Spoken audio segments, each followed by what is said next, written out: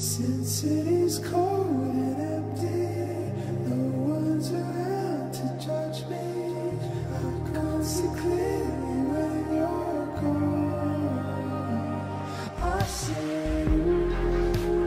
What's up guys, it's Jesse here and welcome back to the channel. Today I could not be more excited. We're going to be doing a property tour of a brand new home which has just been built by Latitude 37. And I've been obsessing over this home since I saw it finished. I've been following it on their Instagram, so I sent them a DM and asked them if they would allow us to do a property tour of their home. They said yes, which is very kind of them. And it's honestly one of the most unbelievable builds you'll see. It's designed around this massive oak tree out the backyard. So it's a horseshoe design, faces north, and it's got this huge infinity pool that runs through the middle of it. But I'll show you all those details a little bit later. I wanna start out the front here. And one of the first features you'll notice is they've gone with the polished concrete for the steps and also the driveway. It's used a white cement, so it's a really nice cover with the blue stones, gray pebbles, and just gives a really nice finish rather than the exposed aggregate. I think the polished concrete's a really good choice. Got the raised planter boxes here as well. You've got the beautiful curved brick feature behind me. Originally it was going to be brown, but they did paint it white, which I think is a lovely choice because the lines of the brickwork and then obviously the painted white give it its own feature. And one of my personal highlights is the raised planter box. You can see already the rosemary is starting to cascade over that. So as this building ages, it's only going to get better with time. And a lovely vertical timber batten there that you see on the facade as well. It's a very popular choice at the moment for contemporary homes. And it's easy to see why because it is a nice feature for I think any contemporary home. But let's go this way. You'll notice they've actually got a large oversized glass front door, which I think if it was looking into the living room wouldn't be a good choice. But in this instance, it only shows the foyer of the property. So it is quite private. And so this entrance foyer is incredible. It's a double ceiling height. It's almost six meters in height. And you've got this beautiful wraparound spiral staircase.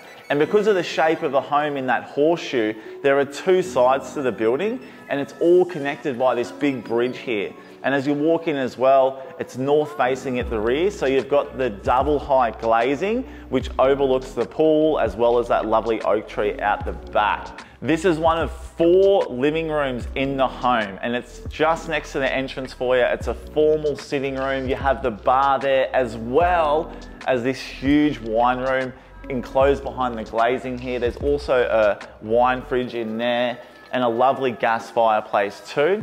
And then you might not be able to see on the camera, but there's actually a Venetian plaster feature wall behind with the burnish finish. It's finished in the polished concrete look. It's a very subtle detail, but as you get closer, you can see it. And it's a nice contrast to mix up with all the plaster as well. The floors are absolutely stunning. It's an ironbark. It's got a red, rich color to it. It kind of reminds me of the Jarrah that you see in a lot of old stately homes. And I think it just pops and contrasts really well with all the white, the timber, the spiral. Yeah, it's a lovely space. I'm going to take you now Two, you won't believe it, probably the most insane home sauna you will see. So I've got a full gym set up here. It could be a Pilates room, it could be a yoga studio. Really nice vertical timber battens again. The same profile as the ones you saw out on the front facade. And I think that consistency is a really nice feature. And look at this.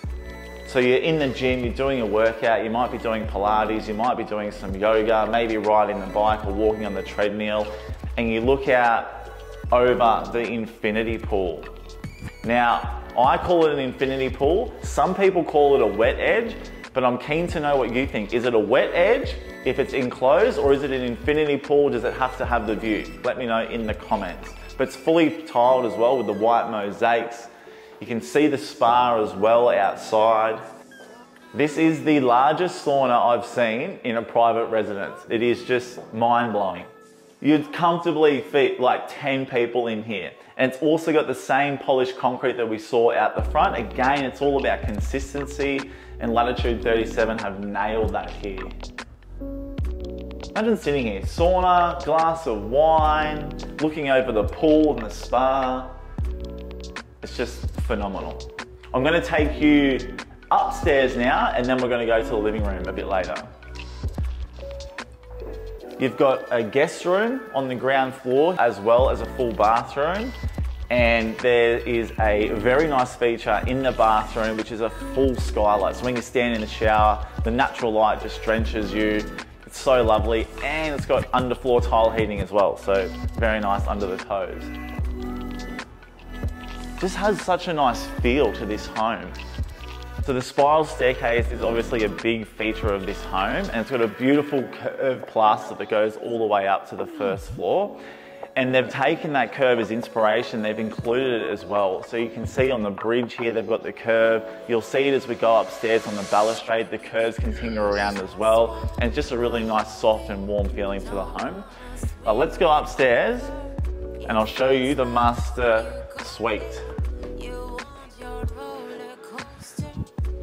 Master suite here as well benefits from that north facing view. Again, you capture that beautiful oak, lovely timber feature there as well with the curves. The sheer curtains are a nice touch. And what's really cool, rather than putting in a window, they've put in a full sliding door with a glass balustrade. So you've got the Juliet balcony here. So you can open that all the way out. You can actually hear the water trickling down from the spa and the pool quite, uh, quite tranquil up here. So we're stepping into the walk-in robe. It's a huge walk-in robe, plenty of hanging space, plenty of shelves, so plenty of drawers. They've got a nice little backlighting here with the LED light. Nice fabric on the bottom there as well, so you can put your watches or your ties or anything really. Plenty of shelving here so you can put your bags. And this I think is probably one of the coolest features. The then you have this oversized makeup bench with this huge floor to ceiling mirror. I'm sure the ladies will love that. But then we're gonna step through into the ensuite, which is absolutely lovely. And I'm a big fan of what they've done here. They've used the same tile on the floor, on the walls as well. I do really like that feature. I think you see it a lot more in really high-end luxury homes than more, say, the more affordable homes. Big double vanity, lovely indirect LED lighting here, and then you've got a full wall of eye level shelving. I know Shayna would love that. She always wants to see as much storage as possible. This is a nice detail as well. It's a really nice thin basin which has been recessed. And you got the brushed nickel here with the tapware. Nice little round hot and cold mixer.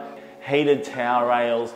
And then you've got a large wet room. So you've got the shower in the same room as the bath. It's freestanding and it's got a floor to ceiling piece of glass that you then look out from over there over to the pool and as well see that oak tree. That would be a lovely place I think for anyone to enjoy having a bath. It's such a nice view there over the backyard and all of the property.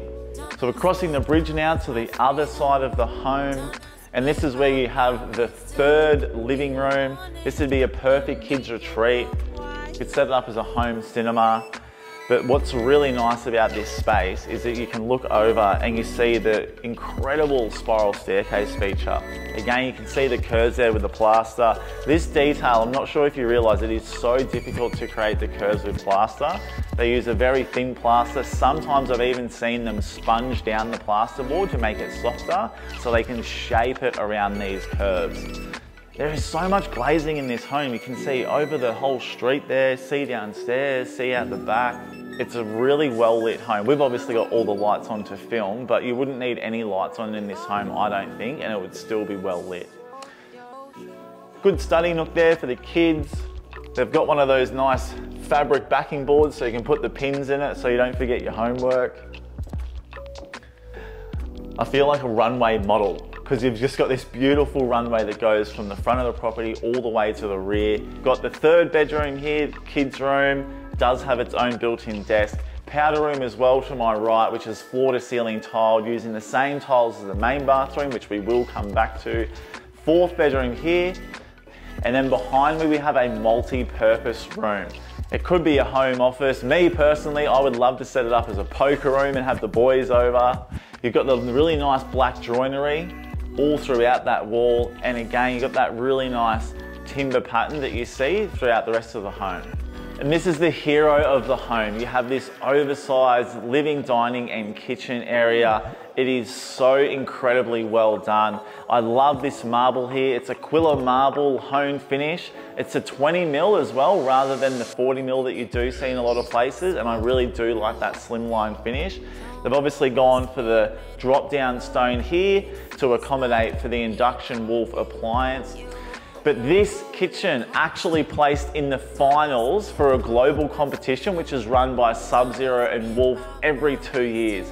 Obviously, Sub-Zero and Wolf are the premium appliances for any home, and you can see why. So you've got the 750 oven here, push to open, pyrolytic cleans itself, oversized fridge, wine fridge as well, can be controlled at two different temperatures, and then you do have the freezer. And the reason people love Sub-Zero, well there's so many reasons, but one of them is that it does have the longest food preservation of anything else on the market, which is obviously important. And then this is a really nice feature. It's a concealed door. It's done in the same timber joinery as the rest of the kitchen, so you don't actually know that there's a door here as well with the matching handle but it pushes to open and takes you through to the butler's pantry. But even in the butler's pantry, you've got the same Aquila marble, a lovely glass splashback there. They've got some bamboo growing along the fence. And then they've got the Gaggenau appliances here. So they do have the gas cooking as well if you didn't like the induction, a second oven. There's plenty of storage in here and shelf. And the same timber joinery as well that they've gone with in the rest of the kitchen. Back through this kitchen, such a lovely island bench. The curves as well. Curves create space, as we do say. Beautiful dining here. I love the light timber that they've gone with as well for the styling. And then the living room is stunning. So it actually, the ceiling height does step up here, creating even a larger sense of space with the volume. Lovely gas fire there, it's backlit. You can see the same Aquila marble which runs around the fireplace. And then the lovely curved timber panel that you see there, we also saw that feature up in the master room, which is obviously really nice continuity. So that's the inside of the home. I'm gonna take you outdoors now to one of the most unbelievable backyards. Honestly, everything you could wish for is here. This is the outdoor area and it is unbelievable. You've got the same lovely polished concrete floors that you saw at the front and also in the sauna, so really good continuity there. The pool here is honestly a tiler's dream. It's fully tiled. You've got the white mosaics on the inside of the pool and then along the front here, it's got the black tile and it's a really nice contrast because obviously it's gonna get a lot of light and that's gonna stop the glare from inside so you don't need your sunglasses when you are inside. But the entire edge of the pool is a wet edge and you can hear it now. It also acts as a water feature because you can hear the water cascading over that and splashing into the pool below, which then gets pumped back through. And how beautiful does it look here? You can actually see the whole home from this shot. The same timber panels that we saw at the front. You can see that lovely Juliet balcony there. And then you can see just how impressive that glass window is when you walk through the entrance foyer behind me. Yeah, there's just so many things to love about this space. This is the most incredible outdoor entertaining area. You've got the pool on the left, You've got the spa on the right, which obviously looks through to the sauna that we saw earlier. You have this incredible circular skylight. And Latitude 37 told me that when it rains, obviously the rest of the patio stops the rain from falling, but it looks as though there's a waterfall coming from the top and landing in the spa. Such a nice detail. Thank you so much to Latitude 37 for welcoming us into their home and letting us do the property tour for you watching at home. One of the most unbelievable properties I've ever seen in my entire life. And what makes Latitude 37 so unique is that they do all of their in-house design and interiors themselves. And of course they are the builder. So they're a one-stop shop for all of your needs. Honestly, the most incredible property. Thanks again for watching. If you have enjoyed the video, please remember to hit that like button and subscribe and stay tuned for next week's episode.